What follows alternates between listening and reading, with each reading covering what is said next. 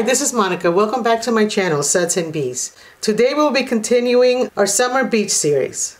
In today's video, we will be making this luxurious whipped lip scrub. This lip scrub will take all the dead skin cells from your lips, leaving them soft and kissable. I did learn this method from Marie at Humble Bee and Me.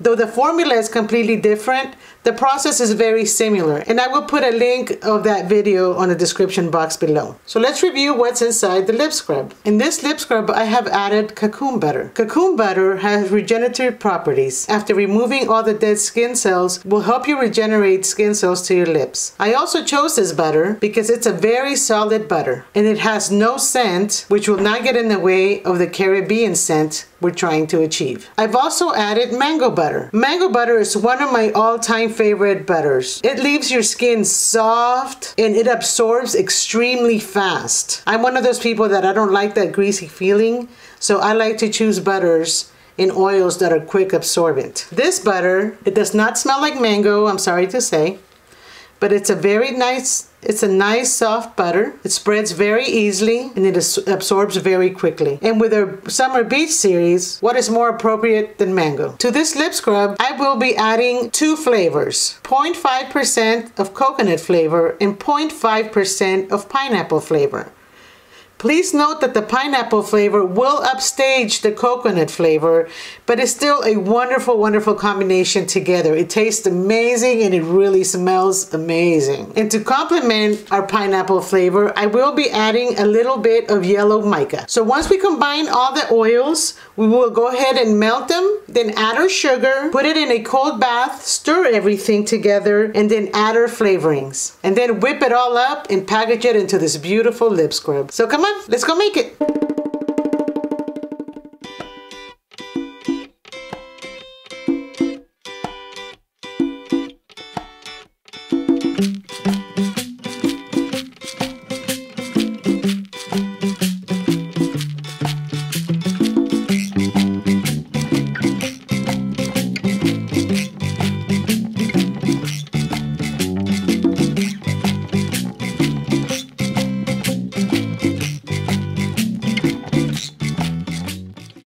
Okay, so I have melted my oils. At this point, I do want to add my yellow mica because it is a pineapple flavor.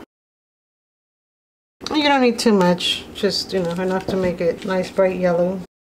Beautiful yellow. I love it. Very pineapple-y. Okay, so here I'm going to put my oils in an ice bath. Um, I didn't put water because the oils are going to melt the ice pretty quickly. So I'm going to let that start cooling off.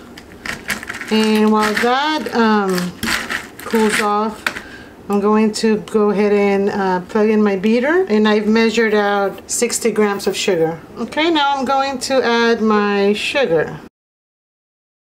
Okay, so I've just added my sugar. I'm going to whisk it.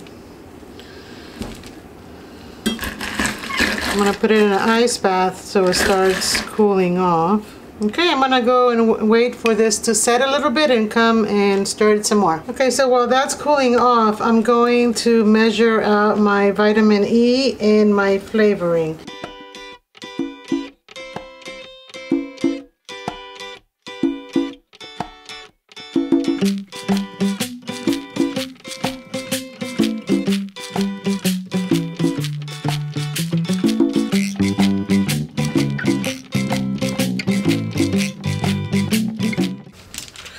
Okay, now that it's cooling off, we can go ahead and start whisking pretty soon. As soon as I add my flavorings. Okay, so I'm going to go ahead and start whisking. Make sure you scrape all the sides.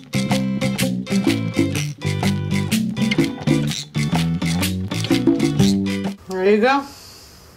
Beautiful and it smells amazing. I think that pineapple is overpowering the coconut, uh, but that's okay. It really smells amazing. So I'm to let it sit there for a little while and then whip it again.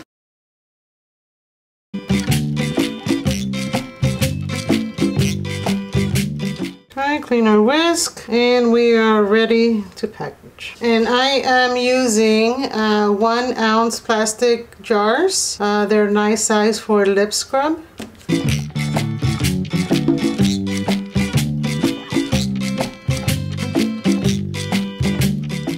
There you have it. We just made some beautiful whipped Caribbean lip scrub. Thank you for watching. See you next time.